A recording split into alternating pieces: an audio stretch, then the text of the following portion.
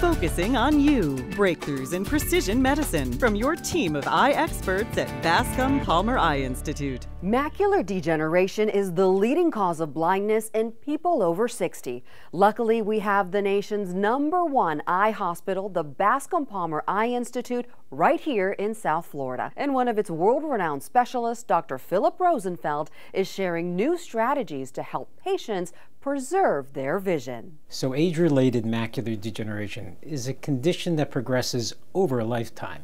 It can be diagnosed after the age of 50. and Most people don't appreciate the visual problems until they're in their 60s or 70s. In about 10 to 15% of patients, it can convert to what's called wet macular degeneration. If untreated, it can cause permanent severe vision loss. About 10 years ago, we developed a new treatment. It's injected into the eye. When we first started to inject the drugs, we were treating every month. But with the use of a new imaging technology called optical coherence tomography, or OCT, we can see if the drug is really working. And we can tailor the treatment, we can personalize the therapy to the individual so they don't have to get a needle stuck in their eye every single month. And that was developed here at Bascom Palmer. Correct. The inexpensive injection, as well as the way to use OCT to help tailor the treatment to the individual.